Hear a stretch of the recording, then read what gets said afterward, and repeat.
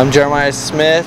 I live in State College, Pennsylvania, 30 minutes from Camp Woodward. Uh, come check out my place. When I'm inspired, ain't nothing that's gonna be stopping me. So we're here in my kitchen, uh, sitting at my, you know, office slash whatever. Uh, this is where I, you know, check the web videos, send the emails to the sponsors, and search the web for car stuff. So here on my computer desk, I have all of the medals and uh, whatnot that I've won throughout the years of riding my bike. The reason why I have a bowling pin is because I bowl quite often and uh, one of the days I ended up getting a 299 so they thought it would be funny to give me a bowling pin and this is the, the pin that I did not knock down, the tin pin. So we're here in my living room. I don't spend a lot of time in here because I travel so much but I have my Xbox, movies, magazines and when I want to relax this is the place to do it. So we're here in my spare bedroom. I pretty much use it as a garage. I have my car parts, bike parts, and everything else in here. This is where a lot of my friends stay when they come. We're here in the master bedroom.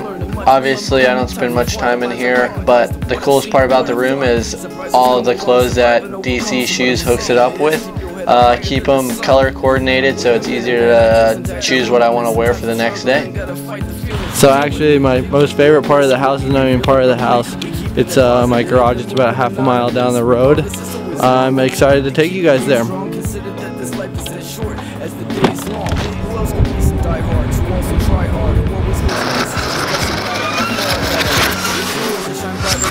Behind me is my car that I built uh, for the last year and a half. I uh, shaved the engine bay, did a bunch of body work to it, and um, redid the whole interior. During the winters here at Camp Woodward, not many people ride until super late, um, and I'm the type of person that likes to have something to do during the day, and this is what I spent most of my time on. That's it. Thank you for coming to check out my house and my garage. Uh, see you next time.